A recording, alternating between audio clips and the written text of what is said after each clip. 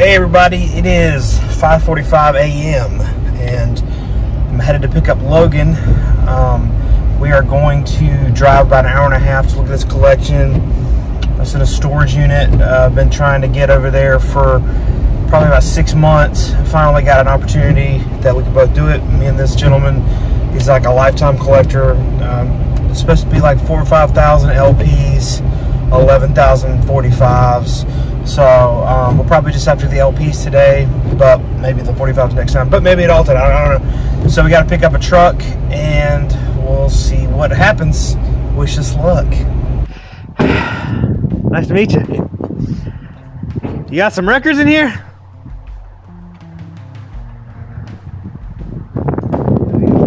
This is uh, Logan, my my main guy. And these are your records, man. Four and a half. Wow, dude. This is wild. Um, we've got some records in here.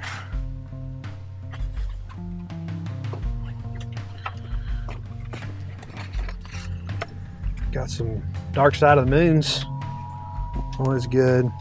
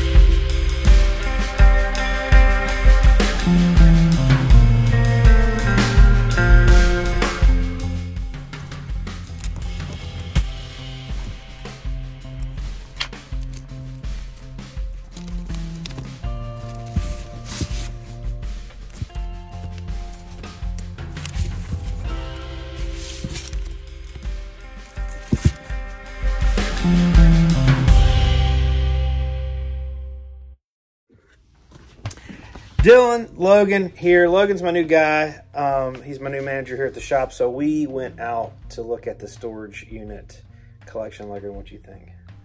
It was uh, dark and dingy in there, but there were definitely some cool albums and a lot of albums. a lot of albums. So we got about 4,000 records. Um, we're still going through everything. This week, Logan's kind of been uh, sifting through everything, pulling out some gems, and like, so there's so much stuff. It's all in alphabetical orders. Like, there's like 30 police albums or whatever, Yeah, and like yeah. a whole box of Genesis stuff. And uh, so what we're doing is we're going through and pricing that stuff and just putting it straight out. Like we usually put stuff in the new arrivals bin, but there's just so much that we're trying to fill our holes in the the classic rock stuff because a lot of people will be like, "Hey, I want to look for some Rush," and then they'll go over there and there's no Rush. You know, obviously it, it always sells. So trying to fill some holes and stuff like that. So I got this lead from this guy like six months ago and just kind of been trying to arrange a time to get up there and look through them. And he ba- basically, you know, said that there were 4,000 rock records.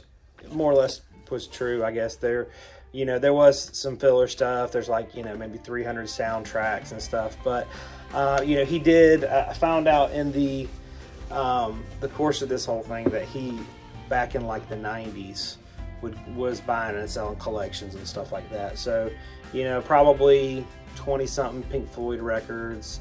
There's definitely some gems in there, so we like to do that every once in a while we drive. It was only about an hour and a half drive for us, so it wasn't too bad. So, anyways, we loaded the truck down, came home. That's pretty much all there is to it. But um, we're just kind of going through and beefing up the selection. You know, summertime is a little slow, so it's a good time to visit the shop because you know things that usually sell really fast are still here. So, um, so yeah, we've got a lot of just the uh, bread and butter, classic rock stuff, um, and actually like, uh, where's that? Where's that Doors record? So there's like the uh, we've got. I'll just show you some things we have here. Um, it's a Kiss double platinum, still sealed. It's like pretty remarkable. This is a Doors Strange Days first mono, still sealed. Um, you know, like this whole stack's Sex Pistol stuff. yeah, uh, this whole stack's like Zeppelin stuff.